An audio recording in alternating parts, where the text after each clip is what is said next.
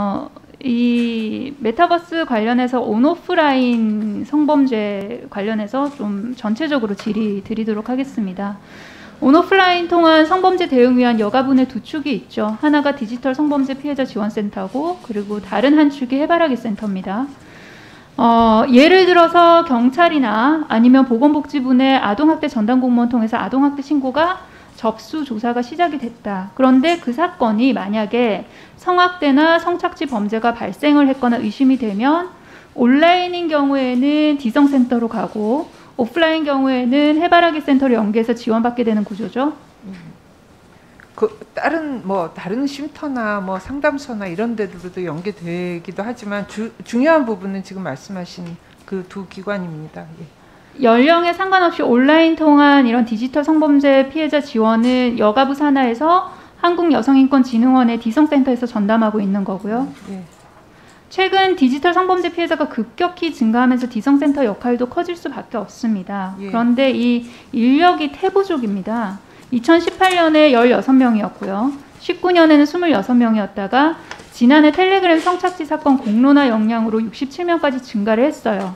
근데 이때 약간 관심 가질 때 반짝 증가를 했다가 다시 줄어듭니다.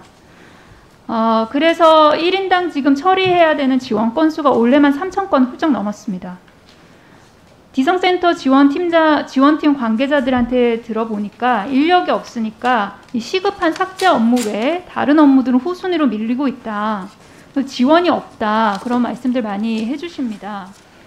어, 그나마 있는 인력 감소하는 것도 문제인데요. 더 큰 문제는 인력 대부분 기간제입니다. 장관님, 디성센터 인력, 서, 인력 39명 가운데 기간제가 몇 명이죠? 22명이고 17명이 정규직입니다. 그렇죠. 그 당장 8개월 기간제 인력 계약 끝나는 11월 다음 달 말부터는 39명이 하던 업무 17명이 해야 되는 상황입니다. 그러면 이게 어떤 문제가 있느냐? 업무 부담이 증가하는 것 이외에 여기서 하는 일이 굉장히 민감한 어떤 영상이나 정보를 다루지 않습니까? 그러면 피해자 입장에서는 나의 이런 뭐 영상이든 나의 정보든 이거를 보는 사람들의 알게 되는 사람들의 숫자가 계속 늘어날 수밖에 없어요. 인력 유출입이 계속 되니까. 그럼 이거 최소화할 필요가 있습니다. 어, 지금 현재 상황으로는 어떤 영상, 내가 원치 않는 영상, 나의 원치 않는 정보들을 보는 사람들이 이 인력 구조 하에서는 어, 들어갔다 나왔다 들어갔다 나왔다 하면서 명수가 늘어날 수밖에 없어요. 그러면 그 피해는 어딜 피해는 결국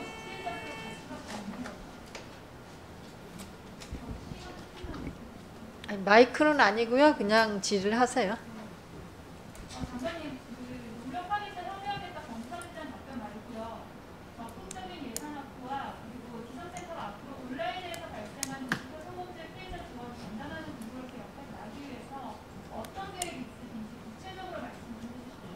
실제로 노력을 했습니다. 그래서 22명 비, 그 정규직 비정규직을 정규직화하는 것을 예산과 직제에 요청을 직제 개정되도록 요청을 했는데 어, 이루어지지 못했던 것이고요. 어제 기재부 총리께서 좀 긍정적으로 검토하시겠다고 해서 기대하고 있습니다. 그리고 또 하나는 67명 증가한 것이 그때가 많았다가 줄어든 것이 아니라 그때는 4개월짜리 계약직 인원이었기 때문에 비정규직 인원의 숫자는 크게 변화가 없고 사실은 어 뭐 근본적으로 의원님 말씀하신 것처럼 정규직 인원이 지속적으로 전문적으로 일을 해야 한다는 점에서는 정, 전적으로 동의하고 그리고 이번에도 이제 비정규직 인원을 8개월 이후에도 하, 확보할 수는 있었는데 일단 정규직화 노력을 진행하고 있는 중입니다. 그래서 잘 도와주시면 감사하겠습니다.